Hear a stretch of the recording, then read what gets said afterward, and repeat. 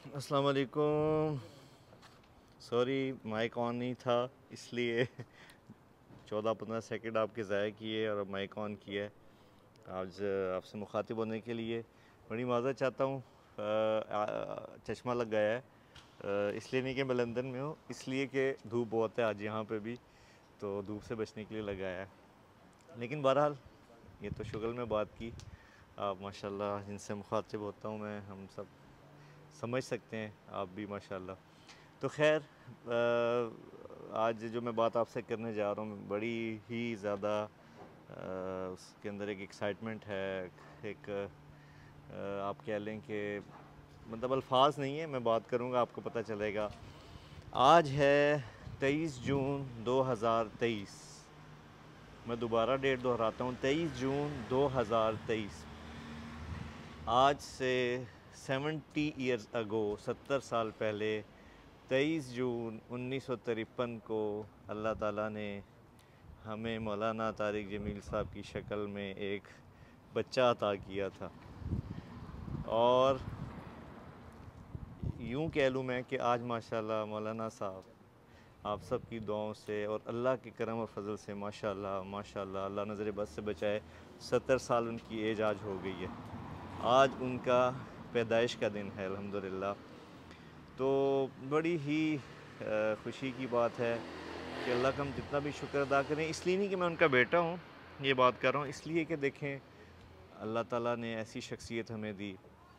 आज से सत्तर साल पहले जब वो इस दुनिया में आए तो ये अल्लाह का इनाम हुआ आ, मुल्क पर उम्मत पर उम्मत मुस्लिमा पर कि कितना अल्लाह ने उनसे खैर का काम लिया। और उससे बढ़ के भी जो खुशी की चीज़ है कि अल्हम्दुलिल्लाह, आज उनको बावन साल 52 इयर्स बावन साल मुकम्मल हुए अल्लाह के रास्ते में चलते हुए। 18 साल का एक नौजवान, आप आज सोच सकते हैं कि आज के दौर में अगर आप किसी भी 18 साल के बच्चे को देखें और सोचें कि उसके क्या ख्याल होते हैं, क्या जज्बात होते हैं, क्या एहसास होते हैं तो आज से 52 इयर्स बावन साल पहले उन्नीस सौ इकहत्तर, नाइनटीन सेवेंटी वन में एक अठारह साल के नौजवान ने अपनी सारी फैमिली की मुखालफत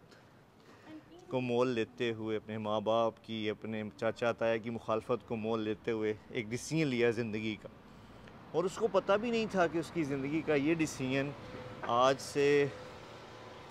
बावन साल बाद उसको कहाँ ले जाएगा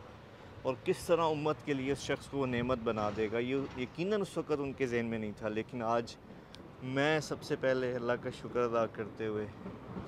और मौलाना ख़ुद अल्लाह का बड़ा शुक्र अदा करते इस चीज़ पे कि बावन साल उनकी ज़िंदगी अल्लाह के रास्ते में लग गई, लोगों की भलाई में, खैर खाई में लग गई। तो हम बड़े खुश किस्मत हैं, बड़े अल्लाह के तरफ़ से ब्लेसिंग है कि अल्लाह ने हमें ऐसी शख्सियत दी।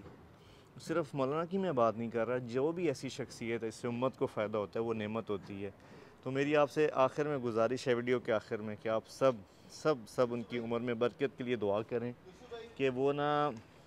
अल्लाह ताला उनको लंबी उम्र दे, लंबी उम्र दे और आफ़ियत वाली दे, सेहत वाली दे कि इन वो अल्लाह का काम, अल्लाह के नबी का पैगाम, अल्लाह का पैगाम दुनिया में लेके चलते रहें चलते रहें और उम्मत में हिदायत का पैगाम फैलाते रहें। आपके वक्त का बहुत शुक्रिया और आखिर में एक दफ़ा फिर दुआओं की दरख्वास्त मौलाना के लिए कि जैसे आफिया से अल्लाह ने सत्तर साल उनकी उम्र की, ऐसे आगे मैनी मोर्स इन इन